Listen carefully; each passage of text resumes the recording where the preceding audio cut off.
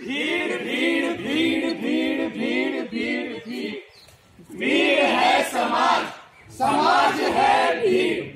भीड़ भीड़ भीड़ भीड़ भीड़ भीड़ भीड़ भीड़ है व्यक्ति और व्यक्ति है भीड़।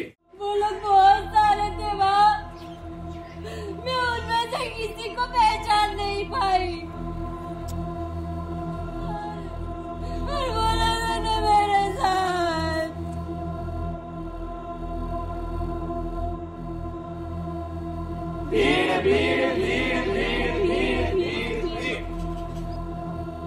मेरे पास में बहुत सारी कहानियाँ हैं। उन बच्चों की जो मेरे घर के पास रहते थे और उनको, उनका कत्ल कैसे किया गया? वो मेरी सहेलियाँ जो अब नहीं है, जो मैं, जिन लोगों को मैं अपने मामा, चाचा, अपने नेबर्स के जो मेरे पड़ोसी थे, वो जो अब नहीं है।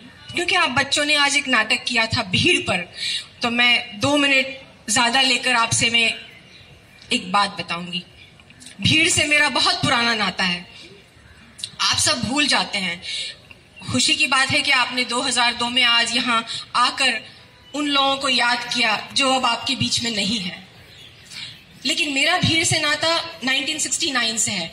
जब मैं किसी से कहती हूँ, जहाँ पर मैं रहती हूँ, जहाँ मेरे दोस्त हैं, जिन लोगों के साथ में मैं पढ़ती हूँ, बड़ी हुई हूँ, कि 1969 के अंदर मैं एक रेफ्यूजी कैंप में जाकर रह चुकी हूँ। अपने भाई, अपने अम्मी, अब्बा, अपने दादा दादी अपने चाचा चाची उनके बच्चों के साथ में। आप बिलीव नहीं करेंगे। 1969 में मैं चार पाँच साल की शायद थी। जब भीड़ हमारे घर पर आई, लोग भूल जाते हैं। लेकिन मुझे याद है, मैं इतनी छोटी थी कि जब मैं रेलवे की पटरियों पर दौड़ रही थी अपने अब्बा के साथ में, मुझे अभी भी अपने अब्बा का वो चेहरा याद है। वो सिर्फ़ पैंतीस साल के थे। अपने ही देश में, अपने ही घर से, जहाँ पर उन्होंने मेहनत से कमाकर अपना एक घर बनाया था। अब सोचिए कि कैसी भीड़ होगी इस अहमदाबाद शहर में कि वो अपने बच्चों को गोदी में उठाकर इतनी रात को रेलवे की पटरियों पर भागे होंगे। अपनी जान बचाने के लिए उस जगह पर जहाँ पर वो आकर बसे थे, उस जगह पर जहाँ पर वो सोचते थे कि उनके दोस्त हैं, वो भीड़ जिन्होंने आके हमारा घर चलाया, हमारे अम्मी अब्बा को, हमारे लोगों को बेघर किया। ये 1969 की बात है।